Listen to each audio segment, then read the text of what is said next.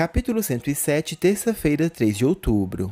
Mariana reclama para Daniel que o aluguel de casas pelo aplicativo está caro e Daniel convida a ex-esposa para morar com ele. Daniel fala que quer participar mais da criação da filha e que Mariana não vai precisar pagar aluguel. Leandro libera os netos para continuar no SEC e avisa a família. Amanda comenta que tem muito serviço e Nath elogia a mulher magnífica que ela é, que cuida dos filhos, da casa e do trabalho com muito amor. Ellen diz a Thelma que não tem mais medo do bicho papão. Glaucia pede para Nando contar tudo o que acontecer no SEC, principalmente sobre Hélio. Romeu entra no lado Vila e Karen o persegue, mas Romeu percebe.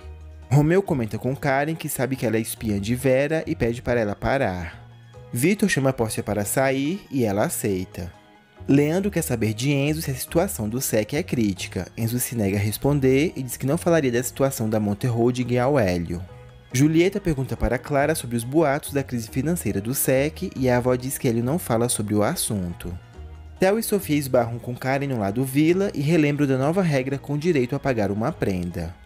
Daniel vê Domitila na rua e faz uma proposta. Clara abre uma carta romântica que chegou em sua casa. Ela repara que é uma carta que contém a mesma escrita no mesmo papel de uma pessoa misteriosa que escrevia no passado. Lá do Torre e lá do Vila se reúnem e negociam o castigo de Karen.